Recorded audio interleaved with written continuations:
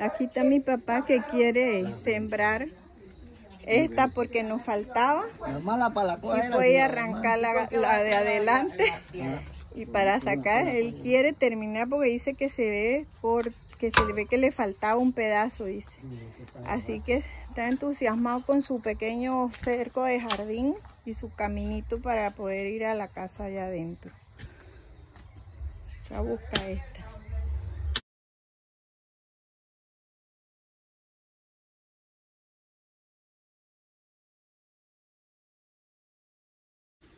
Ahí están los, la cosecha del palo. Ese que está allá atrás de papi. A veces se queda uno más arriba que el otro. ¿ah? Está igual a la cosa porque después que se queda uno más arriba que el otro. Sí, no, yo lo traje con diversos. Le va a dar la vuelta.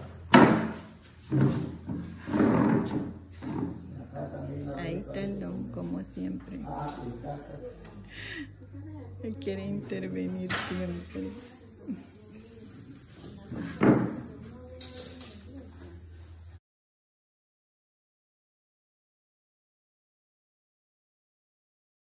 pantalones, ella me los hacía muy anchos y yo cogía una liga y los amarraba abajo. Los ponía amarraditos abajo para que me quedaran así. Porque yo veía a la gente grande que esa era la moda. Entonces yo lo veía a ellos así. Y yo eh, me los amarraba, los pantalones acá abajo le hacía así y los amarraba con la liguita aquí. Y ahí andaba también. ¿Qué talla llevé? 32. Sí, pero ya se fue la onda. Mi abuela, Lucía,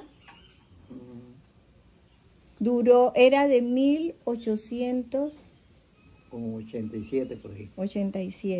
Y murió de 101 En años. 101 años, murió en el 89. Ajá.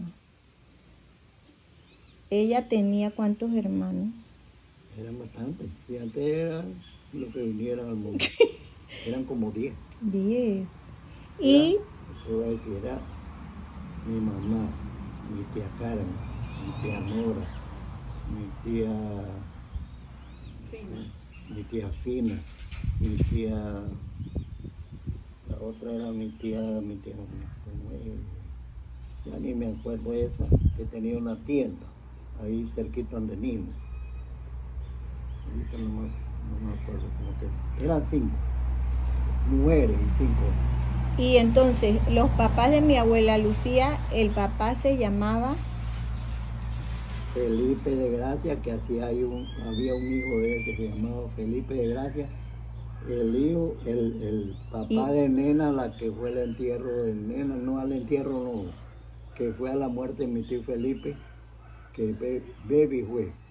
Creo que Baby fue. y entonces el, el papá de mi abuela Lucía se llamaba Gregorio y era, ah no, Ese se llamaba Felipe, Felipe. de Gracia.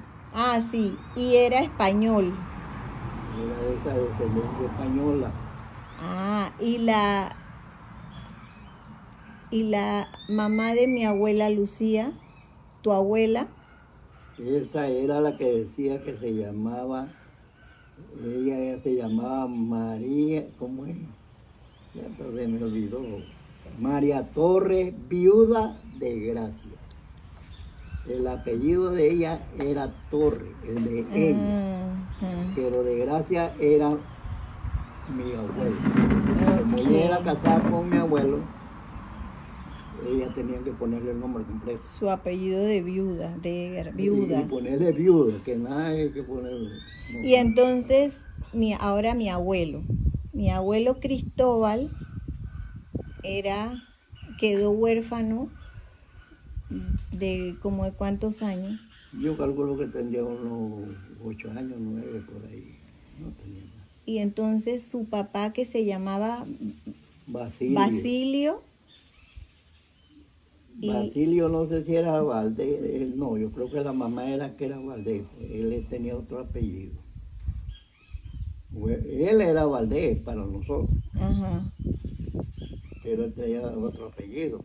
y la mamá se llamaba, Gregoria, que por eso ah, Gregoria, Goya. ah, por eso era Goya, Mm, en honor a su abuela. Sí, a la mamá de él. En la casa nunca hubo pelea de nada, porque nosotros somos así. Mm. No somos así insultativos ni peleones. así.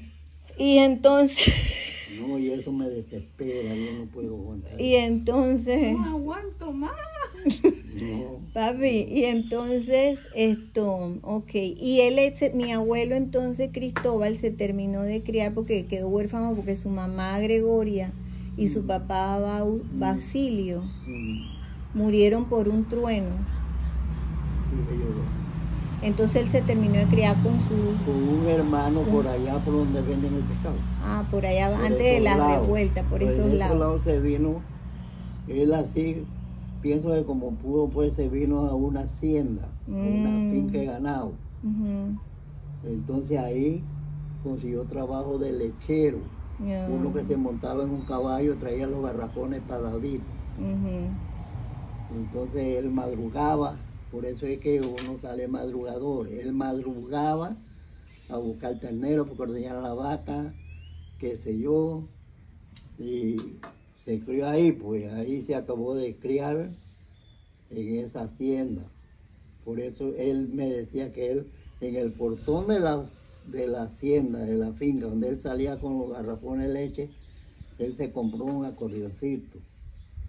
Y entonces se- se- cuando venía muy temprano, parece, para dejar la leche a David, él se trepaba arriba del portón, amarraba el caballo, se trepaba arriba del portón a jalar al acordeoncito ese arriba del portón, Mm. porque él era solito. Él Estaba en esa hacienda y no tenía nada, nada más lo que cuidaban la hacienda, ordeñadores y vaqueros y todo. Pero son haciendas, eran haciendas grandes. Y, Eran haciendas que ahí echaban 60 novillos y, y lo vendían todos juntos. eh, ordeñaban un montón de... Todos los lunes, todos los lunes en la mañana vendían una vaca de la más vieja. Todos los lunes vendían esa vaca. Una vaca que había ahí. Mm. En la hacienda. Pero esa hacienda tenía una, allá más abajo, por allá por la orilla del río, que le decían la isleta. Ahí tenían caballos de cría para exclusivamente la hacienda. Para la hacienda corregía el ganado y hacer hacer con esos caballos. y él terminó toda su vida haciendo eso. No, ya cuando se juntó con mi mamá, Ajá, ya él salió de ahí ya un hombrecito. pues. ajá. Y ya pues hacía rosales, Hacía toda esta cosa para mantenerse. ujú. Maíz, arroz, habita, todo, todo había en la casa de la comida. Mi mamá, eh, de vez en cuando por ahí él trabajaba ganándose un dólar. Mi mamá cosía en la casa pantalones de hombre. Mi mamá se hacía seis pantalones de hombre todos los días. Y adivíname cuánto pagaban por cada pantalón. Una me vendía ropa acá en un almacén acá en, en David. Adivíname cuánto pagaban por la docena. Por hacer 12 pantalones, pegar, pegar, darlos entregados pantalones. 3 dólares. Por 12 pantalones. Eso ¿A fue. acá pantalón? ¿En qué año fue eso? Yo, pues, yo lo conocía a mi mamá cosiendo. Tú eres del Y me salí de 33. la casa mi mamá cosiendo. Ella tenía una mesa grande así donde ella se pegaba ahí, lo cortaba, lo traía de David a la casa caminando sin zapatos. De David a la casa, caminando sin zapatos. Con la ropa aquí, los, los, los cortes. Ujú. Aquí, un trajetón acá y un, un paño, un, un- un- yo no me acuerdo cómo era que decían eso. Una cosa negra así que se ponían por aquí así. Mm, ah, como un pañuelo que se Pero usaba antes. así que llegaba hasta acá abajo. Se lo ponía. ¿Ah, sí? Y mi abuelo de qué edad fue que murió como de los 85, a los 85, mi abuelo. Mm.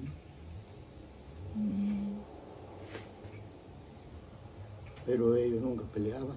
Yo no oía nada en la casa de esa cosa y a mí no me gusta. No me gusta eso. Yo cuando estaba chico y formaba la- las hermanas ahí, la, querían pelearse, se ponían sobrenombre y se ponían cosas. Yo salía huyendo de ahí. Bueno, nunca me gustó. Bueno, en eso Antonio te sacó eso, porque Antonio donde hay pelea se sale huyendo. Sí, yo, Él se va. mira, a mí esto no me ha afectado. Así por la soledad, porque yo he sido así. Cuando estaba aquí solito, yo me sentaba por una piedra allá. Yo, yo soy muy pensador, demasiado pensador. Tú me ves así solito, así sentadito, calladito, así. Yo también. Yo estoy pensando algo. Yo no tengo la mente vacía. Estoy pensando Y, y eso es un lo buen que hice y lo que no ejercicio. hice y lo que quiero hacer. Y eso es lo que hay que hacer. Hacer un resumen de tus actuaciones buenas o malas y serlas as- y escoger lo mejor y mejorar lo que está mal. Porque eso es lo que yo hago también, un resumen de mi día y, Yo- y hablo con Dios. Yo por eso digo, yo creo en Dios, Dios es todo en todos lados, los demás eh, mete miedo. Y yo soy, soy así y pienso que, lo que las actuaciones que uno haga para atrás, ya eso está, eso, eso está hecho. Ya eso nadie se lo va a quitar de encima. Eso ya está hecho. Pienso yo, no sé, a mi manera de pensar. Sí, es que no hay varita mágica, mágica para Que lo quite. regresarlo. que lo regrese. Solo lo Dios. No hay. Ya lo que se hizo, se hizo. Y vamos a aceptar lo que hice malo, pues. Y así ha sido mi vida. Y así. Hoy que es, hoy es 3 de enero Siempre de, he pensado, bueno, 1900 que- de 2024. 3 de enero del 2024. ¿Qué? Hoy qué día es 3 de enero del 2024. Así para que, como dirigiendo los trabajadores, porque esas fincas eh, son fincas grandísimas. Eh, dirige- dirigiendo así, pa- pa- vamos a limpiar para acá un potero. Hay cuatro, cinco, seis trabajadores que van a limpiar. Yo era que daba la línea para donde se iba limpiando. Yo iba al antico con una piquita, así yo me senté, pero me pagaban. Mi hermano no quería que yo fuera para allá. ¿Qué Yo empezaba a ver los carros cuando pasaban para Panamá. Mm. De ahí yo con una Y era chiquito. Esto no, sí. O sea, tú ibas señalizando por dónde era que iban a hacer eso. Y, y- pero yo pensando, esto no me va a sacar a mí a ningún lado. Mira, a veces Dios le pone las cosas a uno por delante que las mire. Yo cuando estaba en la escuela, en tercer grado, se dañó una máquina, una pendeja de esa de sacar agua, así que meten por la, por la calle una bomba de Ah, sacar agua y uno le da acá y sale el agua por allá. Me acuerdo allá en el valle. Se dañó una bomba de esa y vino una máquina de soldadura con un hombre a soldar la pieza que se le había dañado. Quebrado. Y yo me quedé así. Fíjate lo que hace papá Dios. Yo me quedé así viendo la cosa que estaba pegando la máquina. Pegando la bomba y el hombre ahí con su careta. Y, oye, eso me quedó gustando tanto. Y yo, algún día yo. Pero yo solito yo pensaba. Oye, con el tiempo, ¿qué pasa? Llego a Panamá y eso es lo que y me pego lo que yo había visto, que yo quería hacer. Fíjate, para que veas que yo a veces le pone uno las cosas en el camino. Por eso te digo que hay que estar alerta de lo que él te pone, porque ahí va a estar. Ahí está. si no, está. Si no está, si simplemente eso no es lo que yo quiero, Tenía como ocho años por, por ahí. algo te puso eso ahí, Ocho, porque más tenía. tarde lo ibas a usar. Él te va dando las herramientas. entonces, Pero por eso es que, que un hijo, un católico, un cristiano, un creyente de Dios, tiene que estar alerta. No puede estar acostado. Tiene que estar alerta a las cosas que van a pasar o a las señales que él te va a mandar. Eso está como el cuento aquí. sí, Me estoy, el hombre que se está ahogando en el río. Dios mío, ayúdame. No sé nadar, sálvame. Y pasa un helicóptero y dice, agárrese la soga. No, yo estoy esperando que Dios me saque de aquí, Dios mío, sácame de aquí. Y le manda un bote y dice, venga, no, yo estoy esperando, porque no se daba cuenta que Dios le estaba mandando todo para sacarlo. No iba a venir Dios a sacarlo. y se ahogó. Le va mandando por las cosas, lo que él puede hacer para salir. Es que lo va a agarrar de la mano y lo va a hacer. Eso él estaba esperando Hay que un dicho Dios, que dice, ayúdate que yo te ayudaré. que Dios Sí. te Tú ayude. no puedes... Ay, que me Que él caiga la venga, re- que él venga. en el examen, que me caiga la respuesta. Si no estudiaste, no te va a caer. Si no haces algo al amigo, el cal que tienes acá por Era algún lado. como yo estaba haciendo y ahora que ya así, yo estaba en la escuela. Yo estaba como en segundo grado por ahí. Y llegaba a la escuela los lunes. Pero a mí no me explicaban eso. La maestra, nada. Me ponían a izar la bandera los lunes que íbamos a cantar el himno. Todos los lunes por la mañana. Pero yo no sabía por qué me ponían ahí. Ah, ¿Te acuerdas cuando Ah. llegaron a la ¿Cómo casa? fue? Cuéntanos cómo fue. eso. Bueno, eso creo que fueron esos padres que tú Ajá, dices. ajá. Llegaron a la casa. Ajá. Y, y cogieron el carro al valle, cogieron el carro, me llevaron a mí con todo y cosa, con todo y carro, me metieron como a buscar a alguien, pero ese alguien ya se había escondido, Ajá. porque no estaba. Me llevaron, no, me llevaron a mí con todo y carro hasta donde hay allá un lago.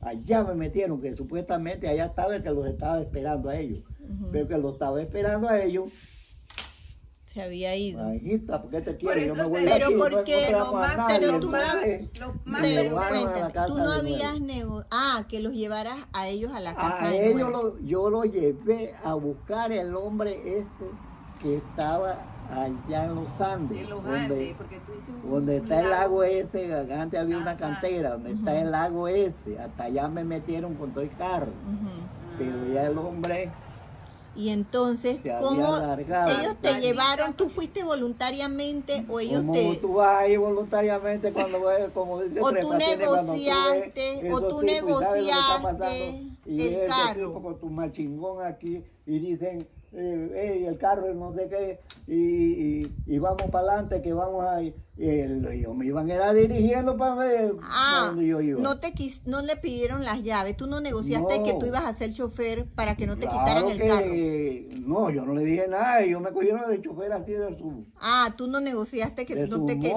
mole, quedar con no. tu... Ah, ok. y ok. Yo, yo preferiera que si llevaran esas cosas que yo Ah, yo entendí ellos. esa vez, era al revés, que tú habías negociado que te que tú manejabas el carro para que no se lo llevaran. Sabes Pero no fue así. Fue Allí atrás de la casa había un hombre de esos que me, quitaron el carro, que fui yo con ellos. Y después, como a los tres días, venía ese hombre allá abajo. ¡Ay! ¡Ay! Yo no sé, llegó que lo prendieron en bala por allá. Venía ese hombre subiendo la lomita yendo secundino. ¡Ay!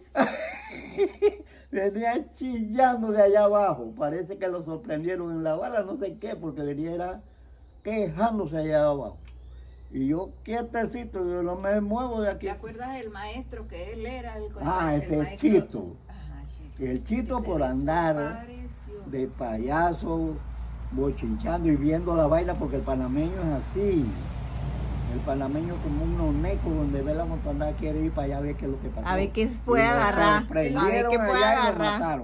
Y entonces, ¿qué sucedió de eso?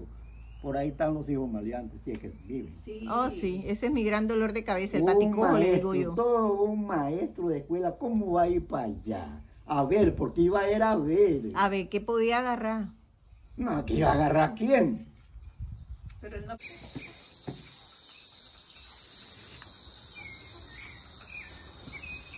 Parece que él es el que barre y trapea la terraza. Es encargado. Lo que veo.